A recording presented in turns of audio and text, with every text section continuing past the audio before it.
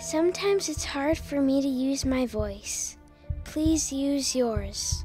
October is Child Abuse Prevention Month. You have a duty to report.